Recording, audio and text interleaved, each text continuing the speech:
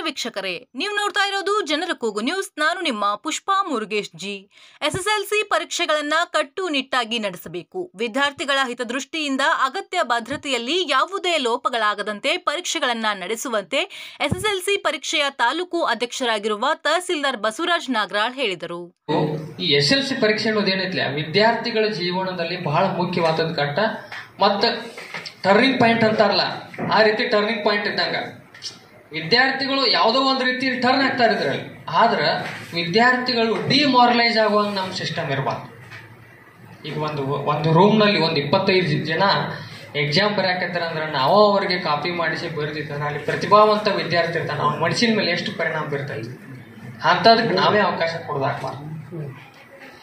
ಇನ್ನು ನಾನು ಸರ್ವಿಸಿಗೆ ಬಂದು ಒಂದು ಐದಾರು ವರ್ಷ ಆಯ್ತು.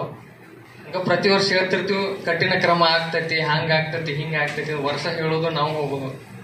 ಆದ್ರೆ ಒಂದು ಹೇಳ್ತೇನೆ ನಿಮ್ಮ ಸಿಬ್ಬಂದಿಗಳಿಗೆ, ಏನಾದರೂ ಅನಾಹುತ ಆದಮೇಲೆ ನೀವು ಅವರು ಇವ್ರ ಕಡೆಯಿಂದ ನನಗೆ ಫೋನ್ ಮಾಡ್ಸಕ್ಕೆ ಹೋಗ್ಬೇಡ್ರಿ ನಾನು ಯಾರ ಮಾತು ಕೇಳೋದಿಲ್ಲ. ದಯವಿಟ್ಟು ಈಗಲೇ ಹೇಳಾಕ್ತೇನೆ. ಮತ್ತೆ ಏನು ಹತ್ತೊಂಬತ್ತು ಪರೀಕ್ಷಾ ಕೇಂದ್ರದಲ್ಲ, ಇದರಲ್ಲಿ ಕೆಲವೊಂದಿಷ್ಟು ಜನ ಕಾಪಿ ಮಾಡಿಸ್ತಾರೆ, ಹಂಗೆ, ಹಿಂಗೆ ಅಂತ ಸ್ವಲ್ಪ ಜನ ನನಗೆ ಈಗಾಗಲೇ ಓರಲ್ ಆಗಿ ಹೇಳಿದ್ದಾರೆ ನಾನು ಇಂಟೆಲಿಜೆನ್ಸಿ ಮಾಹಿತಿ ಅಂತ ಗೊತ್ತನು ಈಗಾಗಲೇ ಸ್ವಲ್ಪ ಚುನಾವಣೆ ನೀತಿ ಸಮಿತಿ ಇರೋದನ್ನ ಒಂದು ವಾರ ಒತ್ತಡಕ್ಕೆ ಸಿಲುಕಿದ್ದೆ ಏನೇನು ಇನ್ನೇನು ಕೆಲಸ ಭಾಳ ಇರೋದಿಲ್ಲ. ನಾನು ಕೂಡ ಪರೀಕ್ಷೆಗೆ ಬರ್ತೀನಿ. ಆ ಸಂದರ್ಭದಲ್ಲಿ ಏನಾದರೂ ಅನಾಹುತಗಳಾತಂದ್ರೆ ನಾವು ಸೀರಿಯಸ್ ಆಗಿ ಕ್ರಮ ಮಾಡ್ತೀವಿ. ಅದಕ್ಕೆ ಯಾರೂ ದಯವಿಟ್ಟು ಅವಕಾಶ ಕೊಡಕ್ಕೆ ಹೋಗ್ಬೇಡ್ರಿ. ಇನ್ನು K S R T C ಅವರಲ್ಲಿ ನಾನು ಈಗ ಒಂದು ಹೇಳೋದೇನಂದ್ರೆ, ಏನು ರೂಟ್ ಮ್ಯಾಪ್ ಅದಲ್ಲ. ರೂಟ್ ಮ್ಯಾಪ್ ಮಾಡಿದ್ರೆ ಹೆಚ್ಚಿನ ಬಸ್ಸನ್ನು ಆವತ್ತಿನ ದಿನ ಬಿಡುವಂಥದ್ದು ವ್ಯವಸ್ಥೆ ಮಾಡಿ ಮತ್ತು ಆ ಗ್ರಾಮಕ್ಕೆ ಸಂಬಂಧಪಟ್ಟಂಥ ಜನಸಂಖ್ಯೆನ ಆಧರಿಸಿ ಕೂಡ ನೀವು ಬಸ್ ಬಿಡಬೇಕು. ಈಗ ವಿದ್ಯಾರ್ಥಿಗಳು ಎಷ್ಟದಾರು, ಜನಸಂಖ್ಯೆ ದಿನ ಆ ಬಸ್ಸಲ್ಲಿ ಎಷ್ಟು ಆಗಿರ್ತಾರೆ ಇದನ್ನೆಲ್ಲ ಗ್ರೌಂಡ್ ಲೆವೆಲ್ ಸ್ಟಡಿ ಮಾಡಿ ಮೈಕ್ರೋ ಲೆವೆಲ್ ಅಬ್ಸರ್ವ್ ಮಾಡಿ ಬಿಟ್ರು ಅಂದ್ರೆ ಅದು ಏನೂ ತೊಂದರೆ ಆಗೋದಿಲ್ಲ. ಯಾಕೆ ನಾ ಇದನ್ನ ನಮಗೆ ಹೇಳ್ತಾ ಇದ್ದೀನಿ ಅಂದ್ರೆ ಬಸ್ ಒಳಗೆ ಬರುವಾಗ ಏನೋ ಒಂದು ಸಣ್ಣ ಇನ್ಸಿಡೆಂಟ್ ಆದರೂ ಆ ಮಗುವಿನ ಮನಸ್ಸಿನ ಮೇಲೆ ಬಹಳ ಪರಿಣಾಮ ಬೀರ್ತದೆ ಏನಪ್ಪ ಹಿಂಗಾತಪ್ಪ ಟೆನ್ಷನ್ದೊಳಗೆ ಬಿದ್ದು ಎಕ್ಸಾಮ್ ಸರಿ ಆಗೋದಿಲ್ಲ. ಅದಕ್ಕೋಸ್ಕರ K S R T C ಆಯಿತು. ಇನ್ನು ಡಿಹೈಡ್ರೇಷನ್ ಅಂತೂ ಎಷ್ಟು ಬಿಸಿಲಿರುವಂಥ ಪ್ರದೇಶದಲ್ಲಿ ಡಿಹೈಡ್ರೇಷನ್ ಆಗೋದು ಕಾಮನ್ ದೊಡ್ಡವ್ರಿಗೂ ಆಗ್ತೈತಿ. ಮಕ್ಕಳಿಗಂತ ಅಷ್ಟು ದೊಡ್ಡವ್ರಿಗೆ ಆಗ್ತೈತಿ. ಕುಡಿಯುವ ನೀರಿನ ವ್ಯವಸ್ಥೆ ಅಂತೂ ಕರೆಕ್ಟಾಗಿ ಮಾಡೋಕೆ ಯಾವ ಸ್ಕೂಲಲ್ಲಿ ಇಲ್ಲಲ್ಲ. ಬೇಕಾದ್ರೆ ಆ ಪಂಚಾಯತಿ ಅವ್ರಿಗೆ ಹೇಳ್ತೀನಿ ಕುಡಿಯುವ ನೀರಿನ ವ್ಯವಸ್ಥೆ ಮಾಡಿರಿ. ಸಾಧ್ಯ ಆದರೆ ಸ್ವಲ್ಪ ತಂಪು ನೀರು ಸಿಗುವಂಥ ಹರಿವಿ ಗಿರ್ವಿ ಎಲ್ಲ ಮಾಡಿರಿ. ವಿದ್ಯಾರ್ಥಿಗಳಿಗೆ ನಾವು ಚೆನ್ನಾಗಿ ನೋಡ್ಕೊಳ್ಳೋಣ, ಯಾಕಂದ್ರೆ ಅವರೆಲ್ಲ ನಮ್ಮ ಮಕ್ಕಳು. ಇನ್ನು ಮೂರನೇದು, ಕೆಲವೊಂದಿಷ್ಟು ಖಾಸಗಿ ಸ್ಕೂಲ್ಗಳು ಇರ್ತಾವೆ. ಅವ್ರು ಏನು ಮಾಡ್ತಾರೋ, ನಮ್ಮ ಸ್ಕೂಲಿನ ಪರ್ಸೆಂಟೇಜ್ ಹೆಚ್ಚಾಗಬೇಕು ನಮಗೆ ಕ್ರೆಡಿಟ್ ಹೆಚ್ಚಿರಬೇಕು ನಮಗೆ ಶಬಾಷ್ ಅನ್ನಿಸ್ಬೇಕು ಅಂತ ಅವ್ರು ಏನೇನೋ ಬೇರೆ ಬೇರೆ ಮಾಡ್ತಿರ್ತಾರೆ ಅಂತ ಯಾರೋ ಅವಕಾಶ ಕೊಡೋಕೆ ಹೋಗ್ಬೇಡ್ರಿ. ಅವ್ರನ್ನ ಭಾಳ ಬೇಕಾದವರು ಇರ್ಬೋದು ಬೇಡದವರು ಇರ್ಬೋದು. ಕೆಲವೊಂದು ಜನ ಸಿಬ್ಬಂದಿಗಳು ಇರ್ತಿರಲಿ ನಮಗೆ ಯಾಕೆ ಬಿಡಪ್ಪ? ಯಾಕೆ ಕೆಟ್ಟ ಆಗೋಣ ಅಂತ. ಆದ್ರೆ ಒಂದು ಹೇಳ್ತನು, ಸಂದರ್ಭ ಬಂದಾಗ ನಾವು ಕೆಟ್ಟ ಆಗಬೇಕು. ನಾವು ಕೆಟ್ಟ ಆಗೋದ್ರಿಂದ ನಮ್ಮ ಸಮಾಜಕ್ಕೆ ಒಳ್ಳೇದಾಕಿತ್ತು ಅಂದ್ರೆ ಆ ಸಂದರ್ಭದಲ್ಲಿ ಕೆಟ್ಟ ಆಗಲಿ. ಏನು ಅದಕ್ಕೆ ನೋಡೋದು.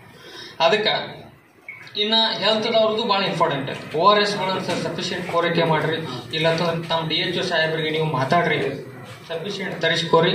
ಮತ್ತು ಪೊಲೀಸ್ ಸಿಬ್ಬಂದಿಗಳು ಈಗ ಹತ್ತಕ್ಕೆ ಎಕ್ಸಾಮ್ ಸ್ಟಾರ್ಟ್ ಆಗತ್ತೆ ಅಂದ್ರೆ ಒಂಬತ್ತುವರೆ, ಒಂಬತ್ತು ನಲವತ್ತೈದಕ್ಕೆ ಹೋಗಿರ್ತಾರೆ. ಯೂಶುವಲ್ ಆಗಿ ಇಲ್ಲಿ ಪದ್ಧತಿ ಯಾವ ರೀತಿ ಇದೆ ಗೊತ್ತಿಲ್ಲ. ಆದಷ್ಟು ಎಂಟೂವರೆ, ಒಂದೂವರೆಯಿಂದ ಎರಡು ಗಂಟೆ ಮುಂಚೆನೆ ಹೋಗುವಂಥದ್ದನ್ನು ತಯಾರಿ ಮಾಡಿಕೊಟ್ರೆ ನಾನು ಬೇಕಾದ್ರೆ ನಿಮ್ಮ ಸಿ ಪಿ ಅವ್ರಿಗೆ ಒಂದು ಮಾತಂತ ಹೇಳ್ತೀನಿ. ಒಟ್ಟಿನಲ್ಲಿ ಏನಂದ್ರೆ ಯಾವುದೇ ಟೀಮ್ ವರ್ಕ್ ಆಗಿ ನಾವೆಲ್ಲರೂ ಕೆಲಸ ಮಾಡೋಣ ಪರೀಕ್ಷೆನ ಯಶಸ್ವಿಯಾಗಿ ಮಾಡೋಣ ನಿಮಗೇನಾದ್ರೂ ಸಮಸ್ಯೆಗಳಿತ್ತಂದ್ರೆ ನಮಗೆ ನಮಗೂ ಫೋನ್ ಮಾಡಿರಿ ಬಿ ಯು ಅವ್ರಿಗೆ ಮಾಡಿರಿ, ಸಂಬಂಧಿಸಿದ ಇಲಾಖೆ ಅವ್ರಿಗೆ ಮಾಡಿರಿ, ತಾಲೂಕು ಆಡಳಿತ ನಿಮ್ಗೆ ಯಾವತ್ತಿಗೂ ನಿಮ್ಮ ಸಪೋರ್ಟಿಗೆ ಇರ್ತೈತಿ, ಆದ್ರೆ ಏನೂ ಕಪ್ಪು ಚುಕ್ಕಿ ಆಗುವಂಥದ್ದು ಆಗಬಾರ್ದು. ಒಟ್ಟಲ್ಲಿ ಇಷ್ಟು ಹೇಳ್ತಾ ನಾನು ಒಂದು ಎರಡು ಮಾತನ್ನು ಮುಗಿಸ್ತೀನಿ, ಎಲ್ಲರಿಗೂ ಥ್ಯಾಂಕ್ ಪಟ್ಟಣದ ಬಿಇಒ ಕಚೇರಿಯಲ್ಲಿ ಬುಧವಾರ ಎರಡ್ ಸಾವಿರದ ಇಪ್ಪತ್ನಾಲ್ಕರ ಎಸ್ಎಸ್ಎಲ್ಸಿ ವಾರ್ಷಿಕ ಪರೀಕ್ಷೆ ಒಂದರ ಪೂರ್ವಭಾವಿ ಸಭೆಯ ಅಧ್ಯಕ್ಷತೆ ವಹಿಸಿ ಅವರು ಮಾತನಾಡಿದರು. ಕ್ಷೇತ್ರ ಶಿಕ್ಷಣಾಧಿಕಾರಿ ಬಿಎಸ್ ಸಾವಳಗಿ ಮಾತನಾಡಿ, ತಾಲೂಕಿನಲ್ಲಿ ಸರ್ಕಾರಿ ಅನುದಾನಿತ ಅನುದಾನ ರಹಿತ ಸೇರಿ ಒಟ್ಟು ತೊಂಬತ್ನಾಲ್ಕು ಪ್ರೌಢಶಾಲೆಗಳು ಕಾರ್ಯನಿರ್ವಹಿಸುತ್ತಿವೆ.